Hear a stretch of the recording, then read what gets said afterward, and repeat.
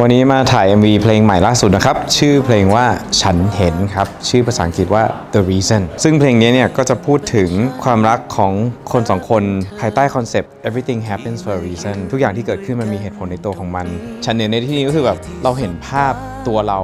ใช้ชีวิตกับคนคนนี้ในอนาคตในวันข้างหน้า ใน moment หลาย ๆ อย่างที่เกิดขึ้นเราเห็นเราดูแลเขา เราเห็นเขาดูแลเราอะไรเงี้ยเราเห็นเราสองคนปกป้องกันไป ดูแลกันไปเรื่อย ๆ จนจนแก่จนเฒ่าอะไรอย่างเงี้ยก็คือมันมันเป็นความรู้สึกว่านี่แหละ คือคนที่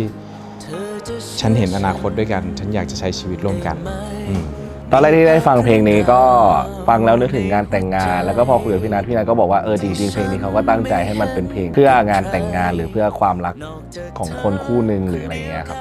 คิดจากคำว่าฉันเห็นก็เลยเอาไอเดียของแบบการแทนสายตาหรือ POV มาใช้การเห็นมันก็คือการมองก็เลยเล่าเรื่องผ่านตัวพระเอกของเราที่แบบเห็นผู้หญิงคนนี้ตั้งแต่ครั้งแรกที่เจอ จน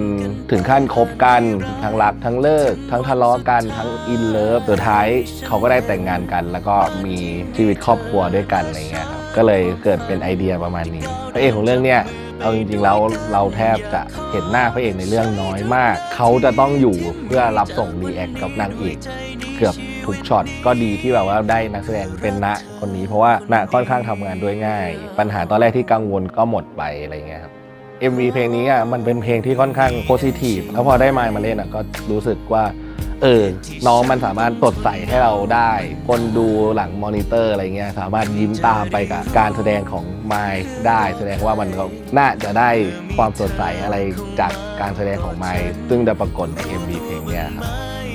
แล้วนี่ก็อยู่กับพระเอกนางเอก MV เพลงฉันเห็นนะครับ ค่ะ ชื่อไมค์ค่ะอะครับผมผมนะครับผม รับบทเป็นคู่รักนะคะ คือเห็นแค่เนื้อเนื้อเพลงก่อน มันดูน่าจะถ้าอยู่ในงานแต่งงานคือ ทุกคนต้องร้องไห้หรือว่ามันต้องซึ้งอะไรอย่างเงี้ย วันนี้อะไรยากสุด ถ้าให้คิดตอนนี้เลยก็คือการแบกไอ้กล้องอยู่บนหัวเนี่ยนะคทุรับกเพราะว่าซีนมันหนักมาก มันจะน้ำหนักมันจะลงข้างหลังอะแล้วมันจะแบบปวดหลังของไม้นี่ตรงไหนยากเป็นพิเศษไหม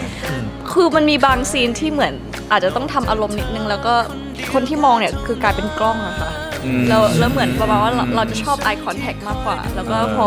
พอเราต้องแบบจะเผลอมามองหน้า ใช่ใช่จะเผลอไปมองหน้าตอนแรกๆอะค่ะที่ที่เขาบอกว่าต้องแบบเออมองกล้องก่อน แต่ว่าก็ก็ท้าทายดีกับสนุกดีชอบซีนที่เหมือนถ่ายเป็นซีนกระจกนะคะซีนนั้นรู้สึกว่ามีความล้ำมากเพราะว่าซีจีก็ทำไม่ได้ ผมชอบเพราะเป็นซีนที่เห็นผมอยู่ด้วยเป็น MV ฉันเห็นแต่แต่ไม่เห็นฉันนะ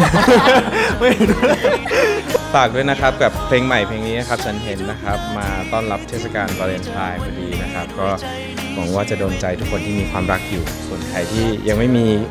คู่ยังไม่เจอคนคนนั้นก็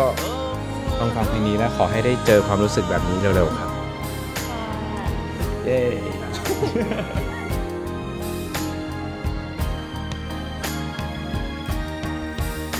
ฉันเห็น The call.